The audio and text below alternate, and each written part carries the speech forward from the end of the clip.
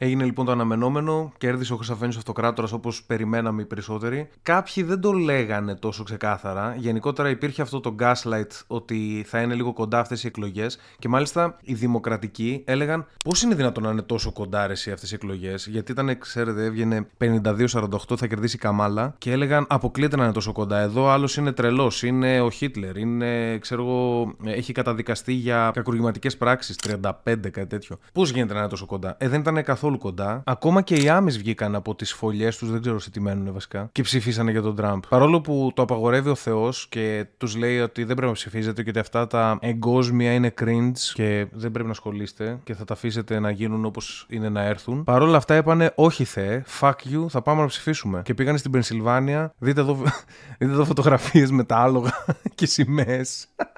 Στη Νέα Υόρκη πήγε 44% που είναι ό,τι πιο μπλε υπάρχει. Παραλίγο να την φλιπάρει τη Νέα Υόρκη. Στην Καλιφόρνια επίσης οι Δημοκρατικοί έχασαν πάρα πολύ έδαφος. Πέρασαν και το Proposition 36 στην Καλιφόρνια που κάνει πολύ πιο αυστηρές τις ποινές για μικροκλοπές και τέτοια. Όλα αυτά που συζητούσαμε δηλαδή για τα Propositions που είχε περάσει η Κάμαλα στο προηγούμενο βίντεο. Τους διέλυσε, τα πήρε όλα και σήμερα πρέπει να κάνουμε μια ανάλυση για το πώς έγινε αυτό και το γιατί έγινε αυτό. Έχω δει πάρα πολλές αναλύσεις στο Twitter και σε άρθρα και σε βιντεάκια στο YouTube και ακόμα και από Έλληνες που δεν ξέρουν καν τα βασικά και όλοι έχουν μια αλλεργία στο να έχουν λίγο nuance στην συζήτηση. Όλοι βρίσκουν ένα θέμα και εστιάζουν πάνω σε αυτό. Μάλλον αυτό είναι το cool πράγμα να κάνεις, αλλά δεν θα κάνουμε αυτό σήμερα. Σήμερα θα το αναλύσω πλήρως τι έχει γίνει στην Αμερική και για ποιο λόγο βγήκε με τέτοια διαφορά, με τέτοιο landslide ο Τραμπ. Έχω κάνει ήδη ένα βίντεο που εξηγούσα για ποιο λόγο πιστεύω ότι η Κάμαλα Χάρη, κατά τη γνώμη μου, θα χάσει με διαφορά. By the way, για όσους δεν το ξέρετε, κάναμε ένα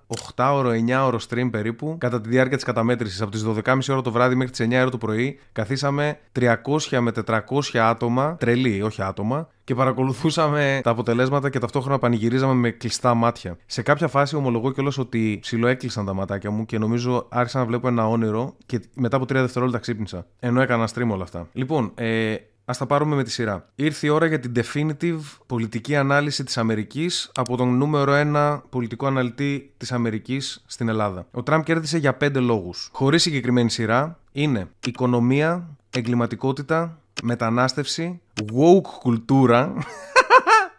Δεν την μπορώ αυτή τη λέξη, έχει πάρα πολύ πλάκα. Και δεν είχε αντίπαλο. Αυτοί είναι οι πέντε λόγοι. Θα τους πάρουμε με τη σειρά. Άμα θέλετε να τους ταξινομήσω, θα έλεγα ότι πρώτος είναι η μετανάστευση, δεύτερος η οικονομία, τρίτος δεν είχε αντίπαλο, τέταρτος το έγκλημα, πέμπτος η woke κουλτούρα. Αλλά αυτό είναι τώρα ανοιχτό στη δική σας ε, ερμηνεία για το πώς βλέπετε τα πράγματα. Α ξεκινήσουμε με τον αντίπαλο, γιατί είναι πιο κουτσομπολίστικο και μου αρέσει πάρα πολύ. Πρώτο λάθος που έκαναν οι Δημοκρατικοί, βασικά ο Biden, ήταν ότι ήταν λίγο εγωιστής. Είχε το εξής πρόβλημα ο Biden, δεν ξέρω αν το γνωρίζετε, αλλά λίγο δυσκολευόταν να περπατήσει, να μιλήσει, να κλείσει το στόμα του κάποιες φορές, να καθίσει σε καρέκλα. Είχε κάποια τέτοια βασικά προβλήματα. Και το πρόβλημα είναι ότι τον χτύπησαν λίγο απότομα. Δηλαδή, ξέραμε όλοι ότι είναι in decline ο άνθρωπος εδώ και 5 χρόνια αλλά τους τελευταίους 18 μήνες, ας πούμε, καταστράφηκε εντελώς. Έπεσε πάρα πολύ. Και έπρεπε ο Biden να έχει την ταπεινότητα να πει ότι δεν θα τα πάμε καλά μα συνεχίσω έτσι, οπότε αποσύρωμαι από την ε, διεκδίκηση της Προεδρίας για το επόμενο διάστημα.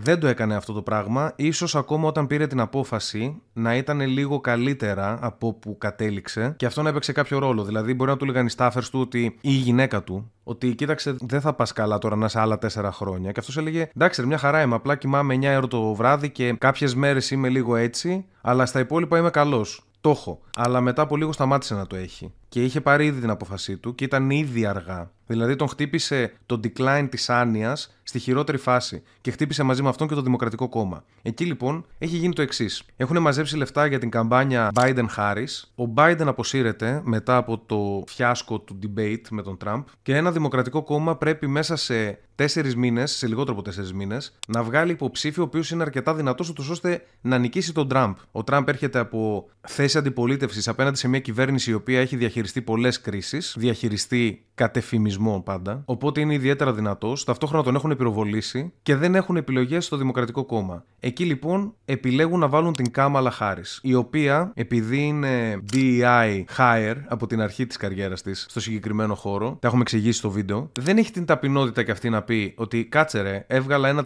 1%, είμαι ιδιαίτερα unpopular ακόμα και στους δημοκρατικούς. Μήπως να βάλετε κάποιον άλλον. Αλλά αυτό δεν μπορούσαν να το κάνουν γιατί το Δημοκρατικό Κόμμα θα φαινόταν ότι είναι αδύναμο αν πετούσε εντελώς εκτός την υπάρχουσα διακυβέρνηση. Είναι σαν να καίει όλα τα τέσσερα χρόνια που κάνανε μέχρι τώρα. Οπότε μέσω του DEI που επιλέξανε την Κάμαλα βρέθηκαν σε ένα διέξοδο πολιτικά και δεν μπορούσαν να κάνουν κάτι. Μόνο αν είχαν η μηχανή του χρόνου και ο Biden έβγαινε από το race περίπου το 2022 και ξεκινούσαν κανονικά primaries στους δημοκρατικούς από νωρίς και έβγαινε κάποιος που μπορούσε να μιλήσει και δεν ήταν η Κάμαλα Χάρης γιατί η Κάμαλα Χάρης είναι περίεργη, μη αυθεντική, άσχημη, ε, χαζή. Δηλαδή, να προσθέσω επίσης ότι δεν βοηθάει που είναι γυναίκα υποψήφια. Δηλαδή, υπάρχει ένα μεγάλο ποσοστό, ακόμα και στους δημοκρατικούς, που δεν θέλουν να ψηφίσουν γυναίκα για πλανητάρχη. Άρα, ναι, υπήρχε και μία δόση σεξισμού, αν θέλουμε να το πούμε έτσι, στο αποτέλεσμα των εκλογών. Έχει όλα τα προβληματικά χαρακτηριστικά ενός υποψηφίου και αυτό ξεμπροστιάστηκε πάρα πολύ τώρα στο αποτέλεσμα των εκλογών. Έπρεπε να βάλουν κάποιον τύπου Σαπύρο από την Πενσιλβάνια ή τον Πιτ Buttigieg Booty Judge. Δεν ξέρω τι κάνει στη ζωή του, αλλά καταλάβατε. Ή τον Γκάβι Νιούσαμ από νωρίτερα. Αλλά όλοι τους είναι έξυπνοι και το αφήσανε. Ξέραν ότι είναι λίγο καμένη η κατάσταση. Ξέρουν και οι τρεις τους, επειδή είναι έξυπνοι και καριερίστε και long term thinkers. Είπανε, άστο τώρα, ας πάρει καμάλα αυτά τους τρει-τέσσερι μήνες που έχουν μείνει. Καλή τύχη. Εγώ θα κατέβω στις επόμενες που θα είμαι cool και θα έχω το χρόνο μου και θα έχω και έναν Τραμπ, ο οποίος τελειώνει σιγά σιγά την καριέρα του, δεν μπορεί να ξανακατέβει. Οπότε θα έχω ίσως λίγο πιο εύκολο έργο. Άλλωστε, η πολιτική είναι παιχνίδι δεκαετιών. Είναι παιχνίδι που σχεδιάζεις τι θα κάνεις το 2035, τι θα κάνεις το 2040, αν είσαι καριερίστας πολιτικός. Έτσι λοιπόν, καταλήγουμε στο ότι ο Τραμπ δεν είχε αντίπαλο. Το Δημοκρατικό Κόμμα ήταν ιδιαίτερα αδύναμο και φεύγει το πρώτο point. Η οικονομία. Η οικονομία λοιπόν ε, βρίσκεται σε μια πληθωριστική κρίση παγκοσμίως αυτή τη στιγμή. Γενικότερα ο κόσμος είναι δυσαρεστημένος. Στο πίσω μέρος του μυαλού του αντιλαμβάνεται, πιστεύω, ο κόσμος ότι δεν φταίει η εκάστοτε κυβέρνηση.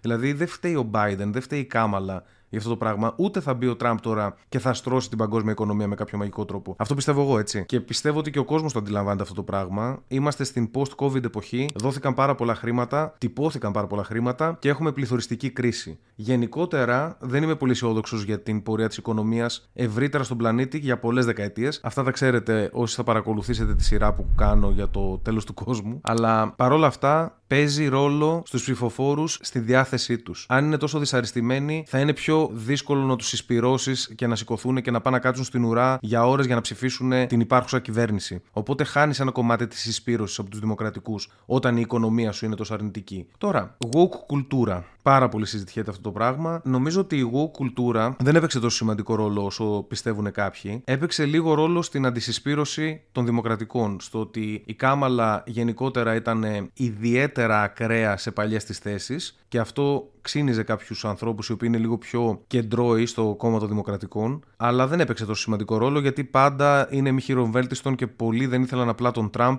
διότι τον φοβούνται, διότι είναι αυτό που είναι τέλος πάντων. Σήμερα, by the way, παρένθεση, δεν θα κάνουμε κριτική στον Τραμπ. Έχω πολλές κριτικές για τον Τραμπ και τις έχω εκφράσει και στο stream μου. σω να κάνω κάποιο βίντεο στο μέλλον για τον Τραμπ. Έτσι. Τώρα, στη εγώ κουλτούρα υπάρχουν κάποια θέματα τα οποία είναι πάρα πολύ σημαντικά για τους ψηφοφόρους του Τραμπ και τους συσπηρώνουν. Ένα είναι η trans agenda όσον αφορά τα ανήλικα, δηλαδή το να μπορούν να κάνουν φιλομετάβαση στα 11 τους ή κάτι τέτοιο. Και όλος αυτός ο πόλεμος της κουλτούρας που έχουν προσπαθήσει να διαγράψουν τους λευκούς straight άντρε από ταινίες και ξέρετε τα λοιπά κτλ. Αλλά είπαμε, αυτό είναι πολύ δευτερεύον. Γιατί τώρα θα περάσουμε στο σημαντικό και αυτό που θέλω να αναλύσω πολύ περισσότερο από όλα τα υπόλοιπα. Μεταναστευτικό πρόβλημα στην Αμερική.